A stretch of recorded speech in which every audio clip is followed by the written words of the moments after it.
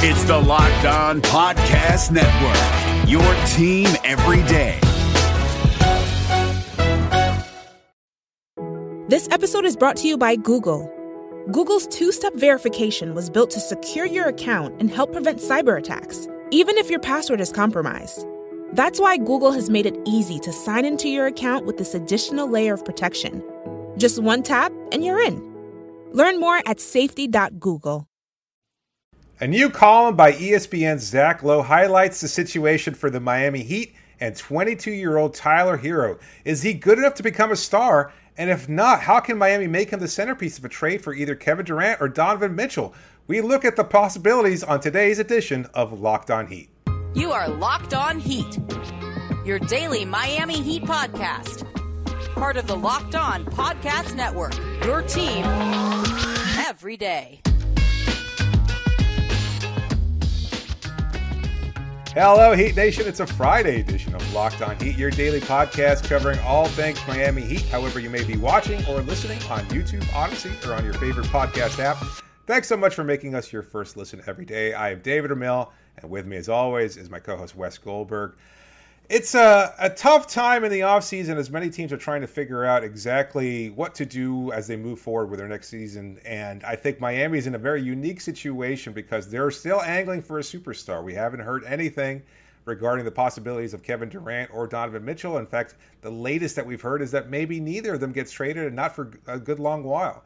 But Miami is still angling for these possibilities. And at the same time, they're doing so in the hopes that teams around the league view Tyler Herro as a potential building block superstar, and a new column by ESPN's Zach Lowe underscores that perfectly. It was a really great read on the Tyler Herro conundrum. That's kind of how we're looking at it here because Miami has tied their hopes to not just Jimmy Butler, not just Bam Adebayo, but also to Tyler. He is a big part of what they're doing moving forward, one way or the other, because either they hope that he can take that leap or they include him in a trade for Kevin Durant. And it's uh, well, what's what were your thoughts immediately on Zach's piece on Tyler Herro?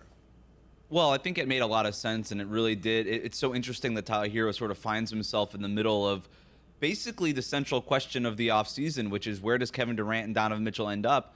And when yeah. do they end up wherever they're going to go? And there's a lot of things to get in here that, that we're going to get into uh, as the show goes on. But uh, Tyler Herro, six man of the year, 20 point per game score, already polarizing in that regard because we've got you know people like John Hollinger out there saying you know it should have been Kevin Love for six man, kind of hmm. dismissing what Tyler Herro did as yay points and things like that. And then you know Tyler Herro is uh, obviously a volume scorer off the bench for Miami. Then and the question was whether or not he could do that in the starting lineup. We we heard Charles Barkley saying stuff about yeah. that earlier in the season. Hey, do it against starters, and then I'll be impressed. And, right. the, and and of course you've got Heat fans defending Tyler Herro because they love Tyler Herro as we've talked about a lot on this show. And then in the playoffs, Tyler Herro gets hurt. The groin thing is an issue throughout the postseason, even before he had to miss games. And then uh, it was a disappointing playoff for him, and he couldn't quite be the guy that the Heat had hoped that he would be. And now you have a 22 year old that's still c- coming off of a very promising season in which he took a leap from a down Absolutely. year two into a year three. Uh, but you still wonder how good can he be and can he be that good when the Heat need him to be as good as they need him to be? And so you take all of that and then you and then you thrust that entire situation into well, we also want to trade for. Kevin Durant. And he's right. our best sort of veteran piece, kind of blue chip young player that we can include in a potential Kevin Durant package. And I just want to read this excerpt from Zach Lowe's piece um, because I think it encapsulates everything that we're getting into here. Herro is perhaps the most polarizing high wattage player in the NBA. He has reached this hmm. strange point just as he becomes the key veteran in any potential Miami Heat trade package for Kevin Durant, Donovan Mitchell, or whichever star becomes available next. The Heat so far have gotten uh, have not gotten much traction on either front, sources say, but they are still trying and can never be counted out. If Miami pulls off a superstar trade, it's going to be because in part that team on the other end is higher on Herro than consensus. Yeah, and here we are, uh, just having wrapped up his third year and another offseason of trouble or weird perception about Tyler Herro. Like following year one, there was a lot of expectation coming because he had stepped up on occasional moments during Miami's run to the finals in the Orlando bubble. And so a lot of people thought, you know, here he was as another potential star and things of that sort. Then in year two, with again very little offseason, no time to really rebuild his game. I don't think he took a step back. He just didn't take the huge leap forward a lot of people expected him to, myself included. In year three, with a full offseason of work, he did take a leap. Six man of the year. I think a little bit more efficient as a scorer. Still, uh, you know, issues there as far as a defensive player. Put on the muscle he needed to, but not necessarily enough, and it didn't necessarily last throughout the whole regular season and playoffs. He broke down towards the end there. He had that groin injury, and that took him out of it. So here we are, yet again, having to reassess what Miami has in Tyler Herro. And I think that's the crux of everything here is that you're just you're not quite sure. And as Lowe points out, and as you just explained, you know, we're we're here year four now as he's entering year four, and you have to hope that either he takes that star turn or that other teams around the league view him as such. And in context of what's happening this offseason, is Tyler Herro should they include Tyler Herro in a trade for Kevin Durant? Because I think that's basically what we're coming down to is there's potential there, and maybe he's reached a lot of it, and maybe he's plateaued. I see a lot of comments from a lot of Heat fans believing that he's plateaued, that this is the version of who he'll be for the rest of his career, which seems kind of odd considering he's only 20 years old. Something that Lowe points out. There's certainly warts there in his game as a playmaker, as a defender, things of that sort. Can he improve? Absolutely, and that's the that's the problem. There is that you're looking at it from both sides of the possible the equation. Yeah. Here is that he's good. There's problems in his game, but he can get better. Mm-hmm. But even if so, even if he, let's just say he takes that leap, is he the star that you want to hang on to? Is he the one that you want to build around at this point, given Miami's limited window with Jimmy Butler, Bam Adebayo, and Kyle Lowry? Or would you include him in a trade for Kevin Durant and Donovan Mitchell? Yeah, and, and you know th- that's one of the key questions that we're going to answer here. Should Miami include him for KD or Mitchell? We're going to get into should he start and how good could he ultimately be. Um, but starting with the, the Durant and the Mitchell stuff, I don't. It doesn't really matter what you and I say. It kind of feels like Miami will and and has offered Tyler Herro for Kevin Durant or Donovan Mitchell. So whatever we say, it kind of feels like they've already gone down that path, and now it's just about what the rest of that package looks like and how that goes against the other packages that Brooklyn and Utah are fielding here. And so, yeah, I think if if you're the Heat, if it's Kevin Durant, yeah, you trade Tyler Herro. If it's if, if it's Donovan Mitchell, and you feel like that player right now is closer to what you need at that position than where Tyler Herro yeah. is, then yeah, yeah. I, I, guess you do it. And with Donovan Mitchell, he's three years older than Tyler Herro, um, but you figure you know his ceiling is probably higher, and and you know is it? Is it? I mean, that's probably, that's what kind of we're getting probably, at, right? I think that's the that is sort of the central question. Is and with Tyler, you know, look, you're not going to find a lot of people who like Tyler Herro more than I do. And and one thing I and one thing again that kind of goes against him, and this goes again, it, we've heard from Zach Lowe and from Jake Fisher of Bleacher Report just pull a random sampling of front office executives around the league, and they're they're split on Tyler Herro. Some people think that he's Lou Williams. Some people think that he could be Devin Booker light. Who knows? It kind of it, it, depends on who you ask. It's a wide spectrum. I, am more towards the. I think he could be an all star. You know, a, a, multiple time multiple time all star. I think yep. yeah, the athletic concerns are definitely there. You know, the short wingspan, all the things that we talked about. He's not a great athlete, point blank. He's just not. He's gotten better you know, that first step has improved and he's done things, he's added muscle, he's done things to help, but he's yeah. just never going to be a great athlete. But I, I, don't think that you can replace the basketball feel. And I think that feel for the game is elite. I think it's elite. I think his footwork is really good, underrated offensively. Udonis Haslem told me for the feature I wrote for the Miami Herald, he's the most skilled basketball player I've ever been around, which says a lot because Haslem has been around a few of them. Um, yep. I, I love all that stuff. I love the work that he puts in. And there's also this idea that the Heat aren't that high on him because Herro's in every single trade rumor. He's in every trade rumor because he's so good. And mm. and the Heat are actually internally really, really high on Tyler Herro, But they also understand that there's kind of conflicting windows that they're operating in the Jimmy Butler one and the Tyler Herro one. And and obviously when you get as close as you did in the Jimmy Butler window, you want to try to maximize it and that's why it kind of just keeps coming back down to Tyler Herro's because Bam Adebayo is that dude already. He's that guy right yeah. now. He's obviously older than Tyler. Uh, Jimmy Butler, obviously that dude right now. If you're sure. going to make an, a move to go all in, Tyler Herro is the logical piece. It just sort of now depends on how Brooklyn evaluates him, how Utah evaluates him, how whatever superstar, whatever team trading a superstar evaluates him, and that's the part that nobody can figure out. Yeah, there's some concerns about how good Tyler has become and how good he will eventually become. And I think that's where Miami finds themselves is that, you know, given everything that they're looking at right now with Kyle, with Bam, with Jimmy on the roster, and they need to bring a championship within the next few years while Jimmy's at his peak, Tyler has gone too good too fast and also not good enough at the same time. And so right. we'll kind of look at a bigger picture here about where Tyler fits in and what's next for the Miami Heat. But before we do that, just a reminder that betonline.net is still the fastest and easiest way to check in on all of your betting needs, including where you expect Tyler Herro to be next season. So that's always a possibility. You can find reviews and news of every league, Major League Baseball, the NFL, the NBA, NHL, esports, and even golf. BetOnline continues to be the top online resource for all your sports wagering information from live in-game betting, scores, and podcasts. They've got you covered.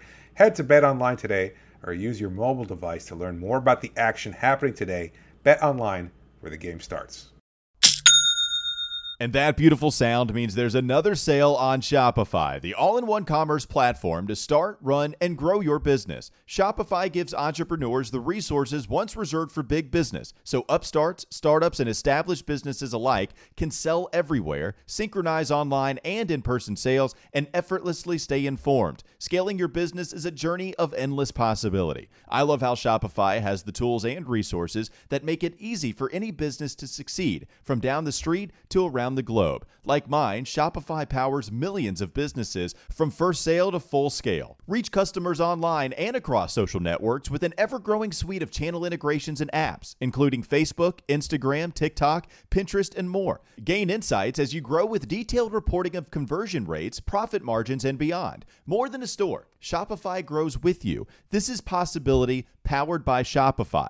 Go to shopify.com slash locked on NBA, all lowercase, for a free 14-day trial and get full access to Shopify's entire suite of features. Grow your business with Shopify today. Go to shopify.com slash locked on NBA right now. Shopify.com slash locked on NBA.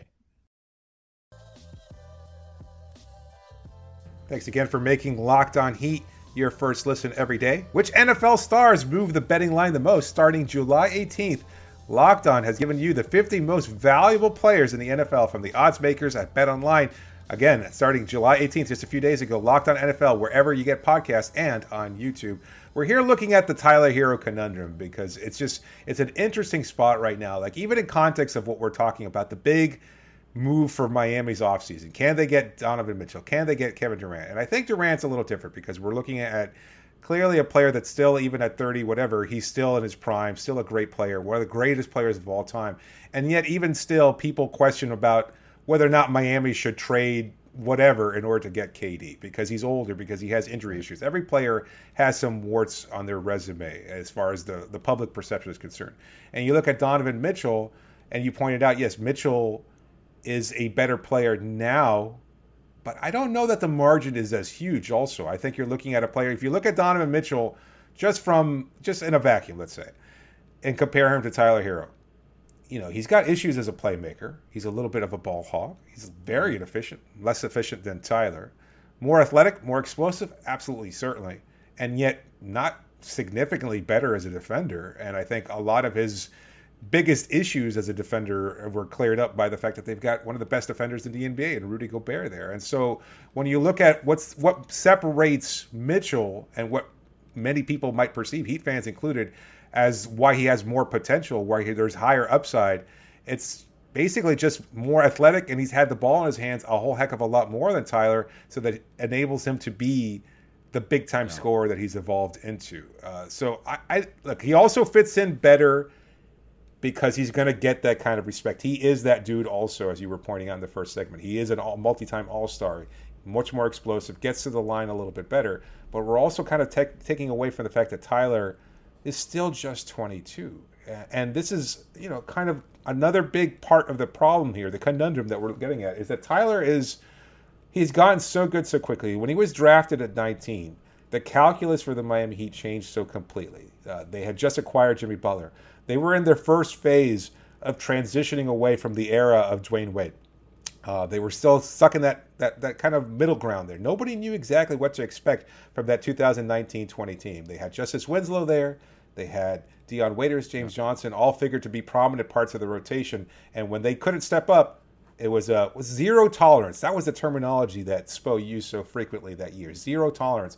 And when they couldn't step up, they couldn't contribute, they were off. They were jettisoned elsewhere because they recognized immediately internally that that team could be better. And part of that reason was because Tyler was on this roster. At 19, he was already figuring prominently into Miami's short-term and long-term plans. And that changed everything for this group because they were supposed to be just okay and they were much better than okay. They're not quite a contender on paper. They didn't seem like the contender like a Milwaukee or a Philadelphia mm-hmm. or a Golden State is, but they were good. They were very good, just also not good enough. And that's kind of the heart of the situation when it comes to Tyler is that he's very good, but also not good enough at the same time just yet.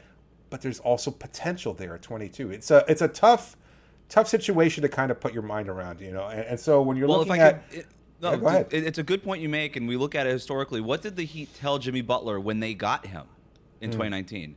This is not the end. We promise you that we're going to put another star next to you. And right. then Tyler Herro comes out a few months later and scores 37 points in the conference finals, and a lot of people are wondering, "Oh, is this is the star that, right. that, Jimmy Butler always needed?" And I think that was fair. I mean, 37 points in the conference finals had not been done since Magic Johnson.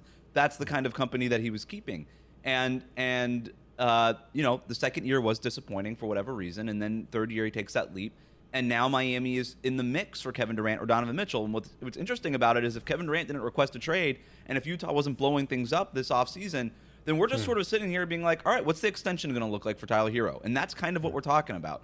Um, but we're not because those guys are available and because Tyler Herro got so good so quickly, but yet he's not good enough to be that guy right now.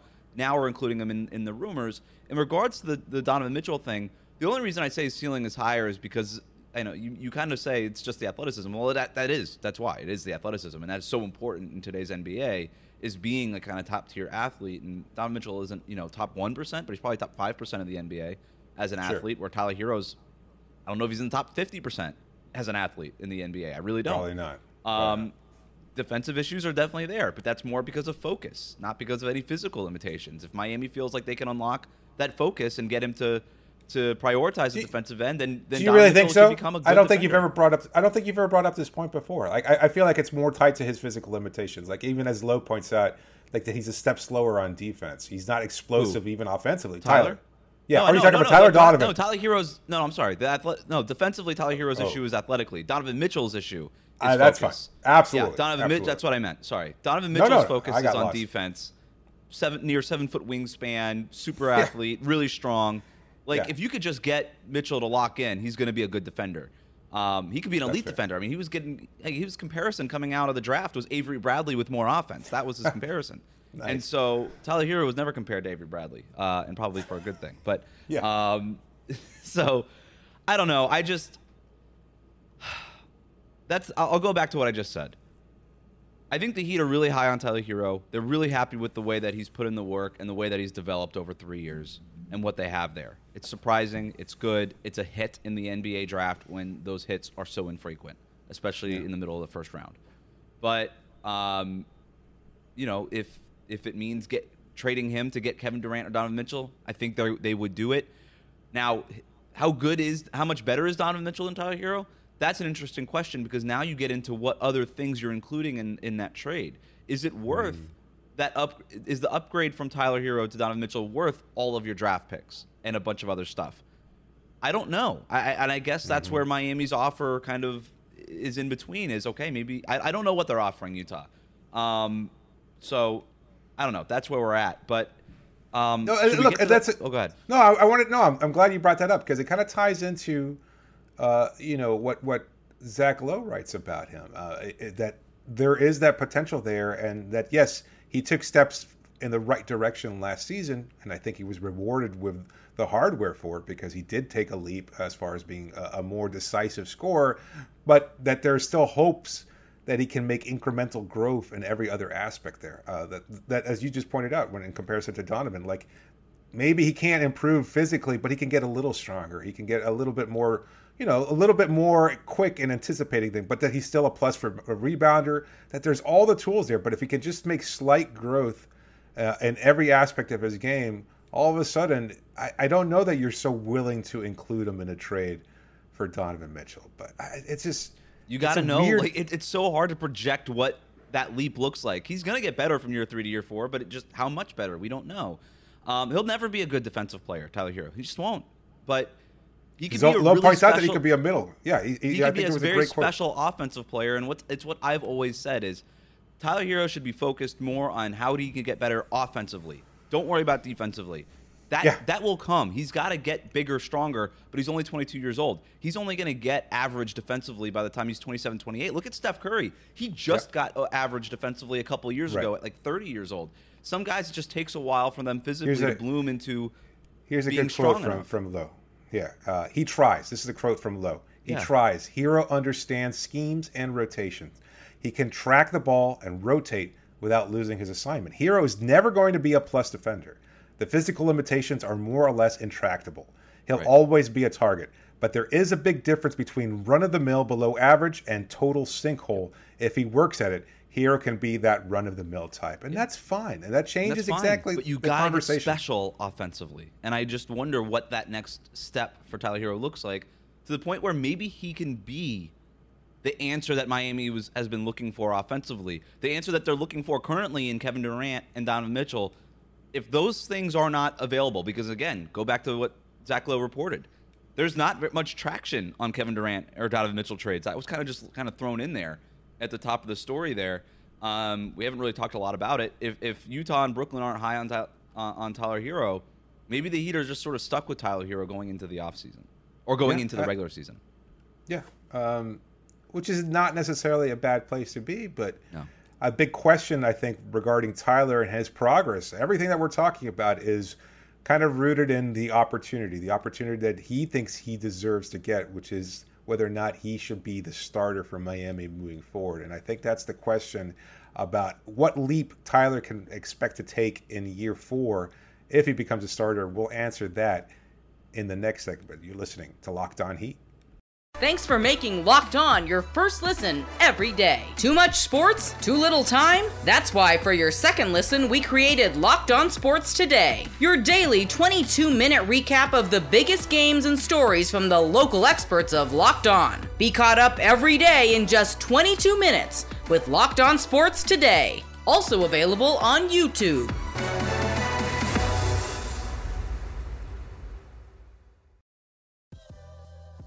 Thanks for making Locked On Heat your first listen every day. And just a reminder that you can always reach us via email at lockedonheat at gmail.com, via Twitter using the hashtag AskLHeat. You can always leave comments for us in the YouTube section of our videos. So make sure you subscribe wherever you get podcasts on YouTube. There's so many different places for you to reach us and to get our content throughout the off season.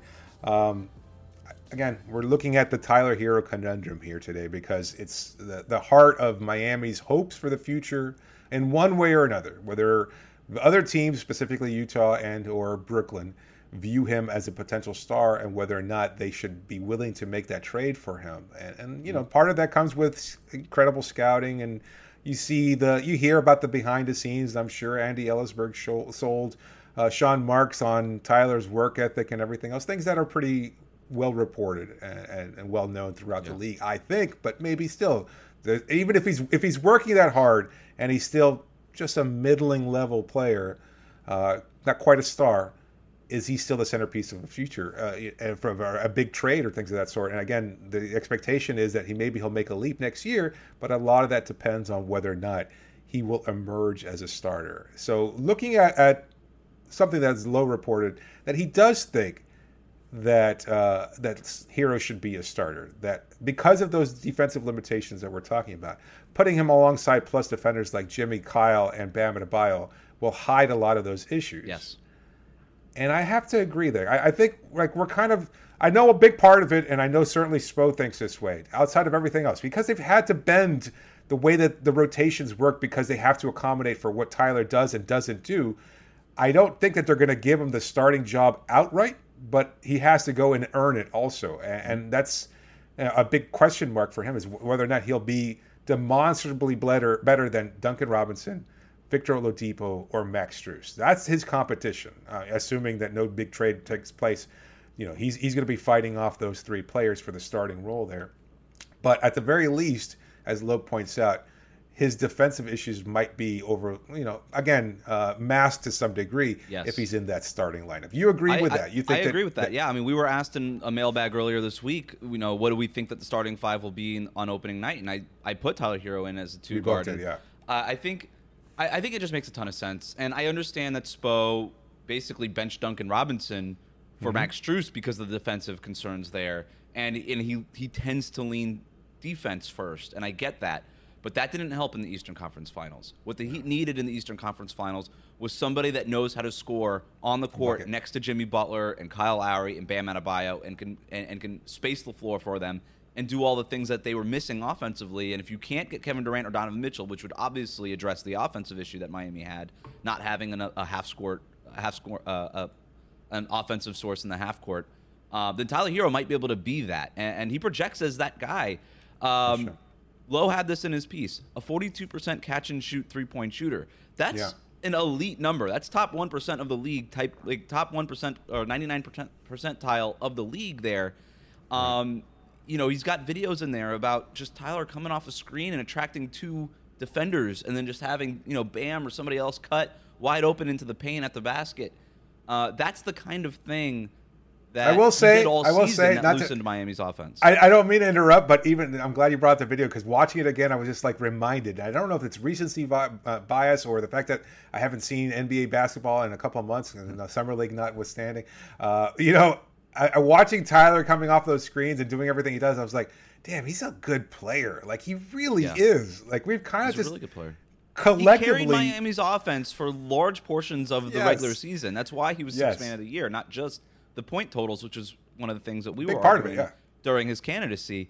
Um, look, Zach Lowe again brings up a really good comparison. We always want to do the De- Devin Booker light with with with Tyler, but what if he's more like Klay Thompson as a starter? Hmm. And I think that's a great comparison. Look, he's not ever going to be what Klay Thompson is defensively, just because of the sheer size and the issues there, but offensively.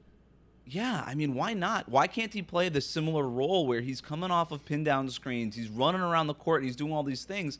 He's not a great natural passer, even though he's gotten much better. But naturally, he's not a good passer. Uh, naturally, Klay Thompson isn't a good passer either. They've just done the work and gotten better at it throughout their careers. But to ask Tyler Herro to basically be a lead guard the way that Miami did in his second season, and that obviously did not work out, um, just letting him be a pure shooting guard. He's got great size. People think he's like six foot t- six feet tall. He's six five six six. He's got Yep. he's got good height. He can launch. He's got a high uh, release point. He can basically get that shot over any other guard that's that's defending him. And uh, if you lean into him being a pure shooting guard, where he's running around the court, not being asked to do too much offensively, he could still attack bent defenses and make plays out of that. You could still kind of flow into the pick and rolls that Miami likes to flow into. He could come off of dribble handoffs from Bam off of the weak side and have Bam roll, and he could still hit him with that pocket pass to the lob or whatever it is. He could still do all those things.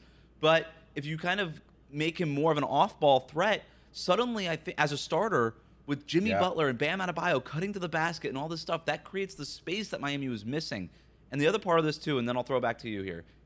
Miami is not going to be as good as they were defensively last year. They lost PJ Tucker. We can argue about the overall impact of that, but they're just not going to be as good as defensively because now you're with Caleb Martin or Haywood Highsmith or somebody like that at the four, and you're just going to take a step down. You are. Right. And if you're not going to be good, as good defensively, I still think they'll be good, but not as they're not going to be elite defensively they were the way, the way they were last year.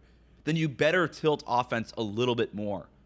You got to lean into your offense. You've got to have your offense win games for you in, in a way that your defense no longer can. And if that's the case, if I'm Erik Spoelstra, then yeah, in that starting lineup where I was leaning defense last year, whenever I could, do I need to force myself to lean offense a little bit more? And maybe if that's the case, Tyler Herro does have the inside track and starting. I absolutely agree. I'm glad you brought that up because I was just thinking about it as we're describing this. Uh, his role as a starter would be so much more clearly delineated. This is the best thing for him. What do we always say about Tyler Herro? What is he? He is a bucket. And the best opportunity to be that bucket is as the starting two guard, alongside a true floor general, a playmaker and Kyle Lowry that has made everybody around him better throughout his whole career, including last season with the Miami He made Bam better. He made Jimmy's job easier.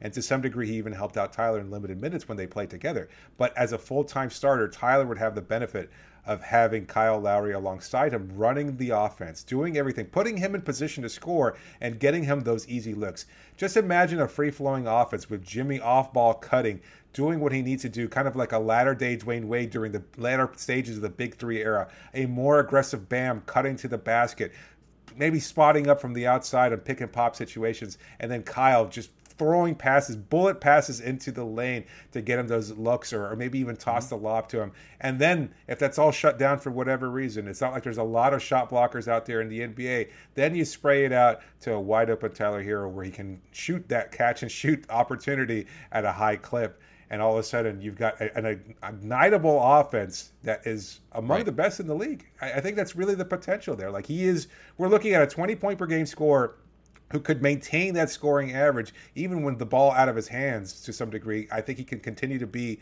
a top scorer on this roster alongside that starting unit there. And I don't even think it matters who you play at the four at that point because you've got four, you know, three other plus defenders, you've got playmakers at almost every position, and you've got one of the best shooters in the league in Tyler as far as the opportunities that he might get yeah. next year as a starter. So I think we're kind and if of, you put him in that spot you allow him also as Jimmy and Kyle age and and age out of this yes. roster.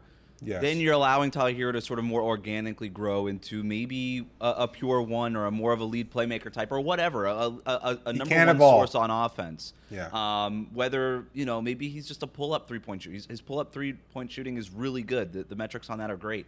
Um, so it's not it's not just catch and shoot. It's also the pull up three. He could do it all from with with his shot. He just needs to get progressively better at those other things. If he's a starter, you mitigate the things defensively that he's bad at because he's bracketed by awesome defenders like Bam and Jimmy and Kyle. And then offensively, you could just sort of lean into what it is that he does best right now, which is just shoot the ball. Yeah.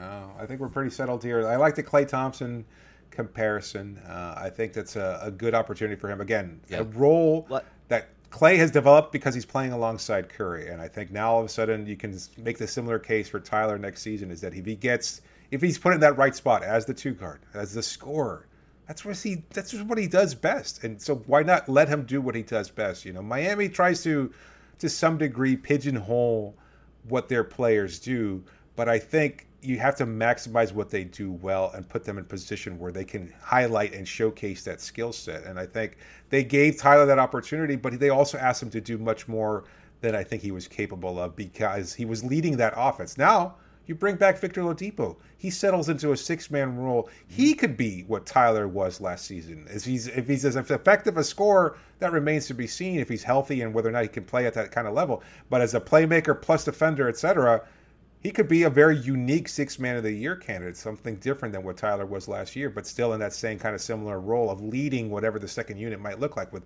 alongside Gabe Vincent, alongside Max Strus or whomever else comes off the bench. So it's a good position for Tyler to be in, and I think it's a much better position than Miami fans are looking at right now. Again, I know there's been a lot well, of optimism from us this week. You had something else to add? No, I mean, it also increases his trade value at the end of the day. If, if he can sure. do it against starters in the opening months for of the sure. season – the one problem with that, and I know we're running we're running late here, but um, Tyler Herro's extension is still uh, on the to-do list for Miami. The expectation yeah. is that something will get done before the regular season, and I think it needs to. I, I, think you risk alienating him if you don't sign him to that extension before the regular season, and sort of risk it in restricted free agency next year, the way that we just saw with DeAndre Ayton, and yeah. that and that becomes an, uh, an untenable, unhappy situation. I don't think Miami can afford to do that, and so the problem with that is if as these reports are, the Kevin Durant and Donovan Mitchell stuff, if this goes into the regular season in terms of maybe Brooklyn or Utah being unwilling to trade them in the offseason, but Miami has to sign Herro to that extension before the regular season begins, which is the deadline on that, then if he does sign that extension, he becomes nearly diff- nearly impossible, extremely difficult to include in any kind of Kevin Durant or Donovan Mitchell trade. So if that's the case, then uh, and I think that's what the Heat are basically waiting on here. Um, then maybe Tyler Herro is the answer for better or worse because he might be the only option that they have if that ends up being the case. And it's not a bad place to be. I think we can kind of settle into that too. Like I, I know a lot of people have surprisingly turned on him, some you know similarly to what they you know how they turned on Kyle. But I think there's again as as Lowe points out, as GMs around the league have pointed out, like he can get better. He's still just 22. Like you know, the comparisons, the high end comparisons to like a, a, Devin Booker or CJ McCollum, like, you know, just a few years ago before Chris Paul joined that roster, how many people were looking at Devin Booker and saying he was just putting up empty calories? And that yeah. was on a, a, not particularly good Phoenix Suns team. And all of a sudden you add Chris Paul, it's like, oh, Devin Booker, one of the best players in the NBA, an Olympian, et cetera, all this stuff. It's like, you know, a lot can change playing alongside the right player. Maybe it's a combination. You know, the two guys that almost every Heat fan wants to have traded to some degree, Kyle Lowry and, and Tyler Herro, they could be the answer to saving Miami's regular season. And we'll have to wait and see how it all pans out. Uh, but I, I kind of, over the course of this past week, as much as we've been engaged in talks about Mitchell, talks about Durant, and exploring it from every angle, this week has been one, for me anyway, of renewed optimism. And I think Tyler Herro could be a big part of that moving forward. So let us know. Let me know. Uh, you know, disagree, agree, whatever. You can always send in comments again via YouTube, uh, via email. You can always uh, DM us or uh, you know use the hashtag AskLOHeat. But thanks to everybody for making Locked On Heat your first listen every day. For your second listen, get up to date with the latest news and rumors in the NBA. Just 30 minutes every day with Locked On NBA. Locked On NBA, your daily NBA update in just 30 minutes. This is David Ramil signing off for now. Thanks so much for joining me, Wes. Wrap it up, B.